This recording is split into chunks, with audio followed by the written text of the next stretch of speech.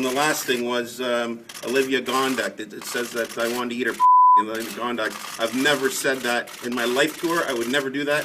I'm happily married. I've got more than enough to eat at home. Thank What about what about drinking and driving, Mayor? What about drinking and driving? One little bit on the end. Just think of potato. How's it? So, you write phonetically, but put up. There you go. I have as much experience in the Congress as Jack Kennedy did when he sought the presidency. I knew Jack Kennedy. Jack Kennedy was a friend of mine. Senator, you're no Jack Kennedy. That was really uncalled for, Senator. We cannot sustain. Oops. Was that my, uh... Oh, goodness. That's all right.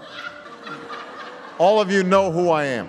We have this notion that somehow if you're poor, you cannot do it. Poor kids are just as bright and just as talented as white kids.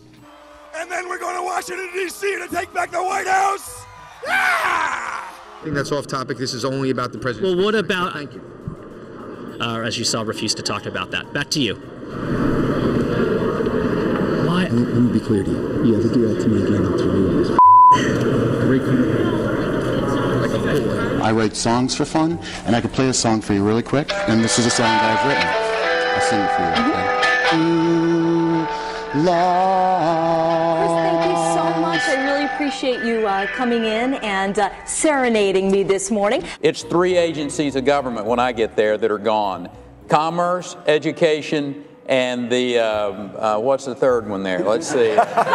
Com- Oh, five, okay. I've read most of them again with a great appreciation for the press, for the media. Like what one specifically? I'm curious that you. um, all of them, any of them that um, have, have been in front of me over all these years. I would like to ask you if you'd like your mother or your grandmother to be in my situation. Um, I just survive on around $400 a fortnight after I pay my rent. And I work on an adult sex line to make ends meet.